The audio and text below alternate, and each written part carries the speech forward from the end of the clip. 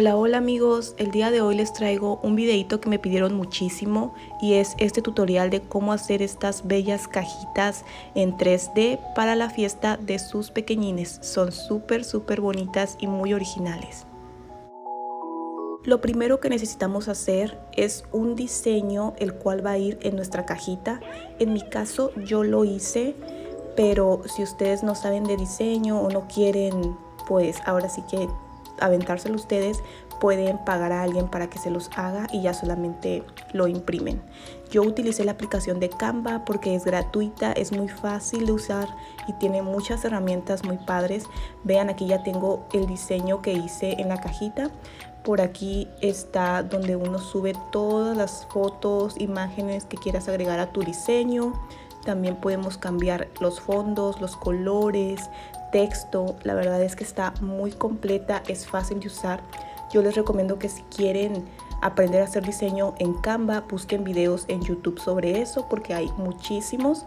En este solamente les estoy dejando saber dónde yo lo hice y pues miren más o menos todo lo que podemos hacer con esta aplicación.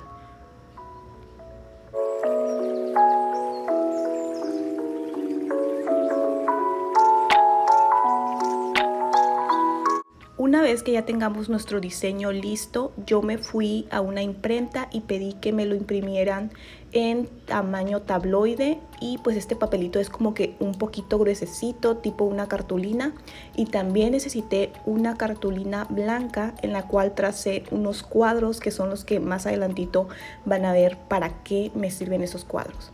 Aquí estoy haciendo los trazos más o menos de distancia entre cada cuadro son de 15 centímetros. Bueno, son 10.7 centímetros de altura y de ancho son 15 centímetros. Entonces me puse a trazar varios. En la cartulina más o menos me cupieron como unos 8 cuadros. Entonces sí vine usando como unas 4 cartulinas en total para hacer mis cajitas porque yo hice 40 cajitas en total entonces sí necesitaba bastante material. Esto es como que lo más tardadito, lo más enfadoso, por así decirlo. Este, después de que ya tengan sus trazos, pues recortamos ahora sí que los cuadros. Aquí hay que tener mucho cuidado de no equivocarse y cortarlos mal, porque a mí ya me pasó. Me equivoqué y los cortaba más chicos o más grandes, entonces me tocaba volver a hacerlos. Una vez que ya tengamos nuestros cuadros y nuestros diseños recortados, vamos a proceder a hacer pliegues en las esquinas de los cuadros que hicimos porque estos van a formar como una tipo cajita donde va a ir guardado el diseño con las bolitas de colores que les vamos a poner. Entonces tengo como que doblar los pliegues para poder formar esta caja.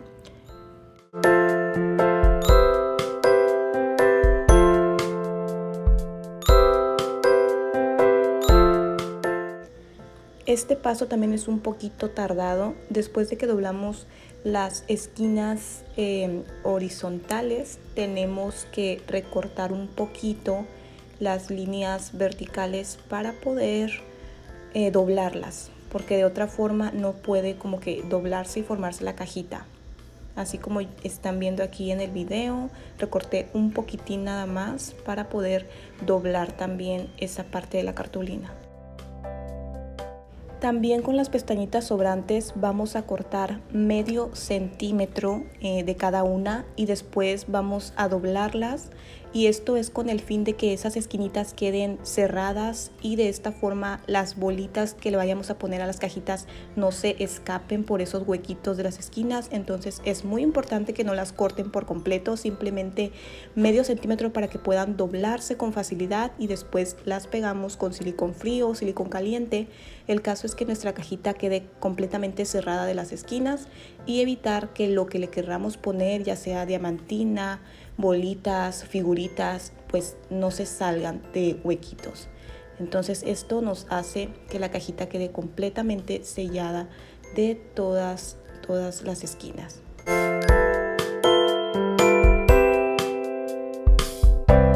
Una vez que tengamos lista nuestra cajita, vamos a ponerle silicón en el fondo y vamos a pegar nuestro diseño muy muy bien pegadito para que quede de esta forma.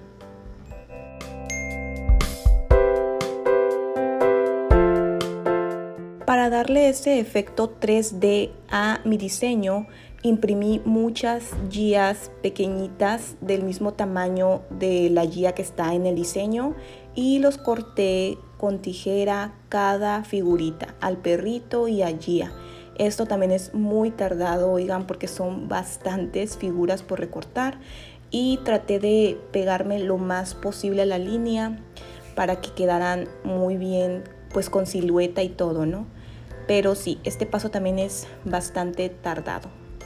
Pero vean, así es como me quedó Gia y así es como me quedó el perrito recortado. Me parece que también hay personas que ya te venden las figuras recortadas, entonces si ustedes no quieren batallar tanto como yo le hice, pues pueden comprarlas ya recortadas, pero en mi caso yo quería economizar lo más posible. El siguiente paso por hacer es pegar a Gia en el diseño y para esto voy a utilizar cinta doble cara en este caso yo pego dos veces cinta, una encima de la otra para que quede como más levantado y de ese efecto de 3D. Así como están viendo aquí en el video, le puse un pedacito de cinta, luego otro y después pegué a la guía. Siguiente paso consiste en meter estas bolitas de unicel en la cajita para que tenga ese efecto de movimiento. Ustedes pueden usar brillantina, hay unas diamantinas que son de figuritas, pueden usar muchas cosas, todos se los dejo a su imaginación y también pues que combine con su tema. En este caso yo quise usar esas bolitas y estas son las cajitas que yo compré.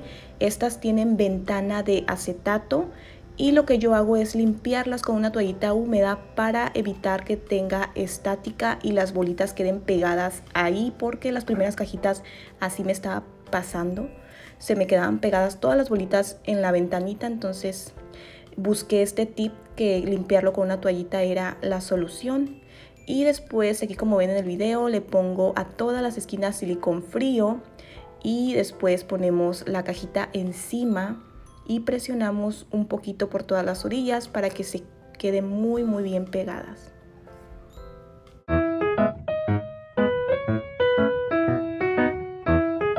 Este es el resultado, así es como nos debe quedar nuestra cajita. Por dentro luce algo así, tiene este efecto de que está como levantadito, pero es para que tuviera espacio para que las bolitas pudieran ahora sí que tener movimiento y después comienzo a doblar las cajitas para formarlas. Ya traen marcados los pliegues, entonces este paso no es tan complicado. Todo depende de qué tipo de cajita compren ustedes. Estas son las que yo conseguí acá en mi ciudad. Las compré con una muchacha por internet que entregaba aquí en Tijuana. Pero también creo que las venden en Amazon, en tiendas online, en papelerías. Pues aunque sí batallé un poquito para conseguir estas en especial porque casi no había con ventanitas de acetato. Normalmente las que venden son esas blancas lisas, pero gracias a Dios sí pude conseguirlas.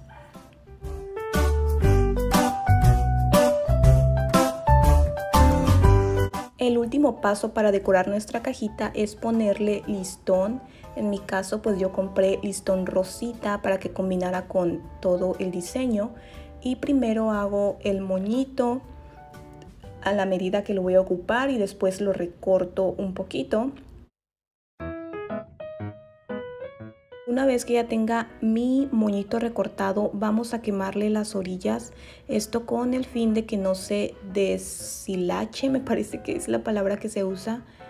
Eh, ya ven que cuando cortan un listón a veces quedan como que pues hilitos colgando, entonces para evitar que eso se siga deshilando, me parece que es la palabra correcta, eh, pues lo quemamos y después con silicón frío voy a estar pegándolos en la parte superior de la cajita para darle ese toque final, que se vea bonito, darle ese plus. Aquí ustedes también pueden usar listón o pueden usar figuritas, pues ya también depende de lo que quieran. Aquí ya tenemos el resultado final de nuestra cajita. Vean qué preciosidad. Se ve muy bonita, se ve muy original esta idea. La verdad es que me encantó. Para ser honestas, esta cajita de dulces sí es mm, bastante trabajo, así que si ustedes piensan hacerlo, tienen que mentalizarse que van a ser varios días los que van a estar haciéndolas, pero vale completamente la pena, el resultado es precioso. Y bueno, hasta aquí el video de hoy, espero que les guste y les sirve estos consejitos para que también ustedes hagan cajitas tan bellas y originales como las mías. Hasta luego.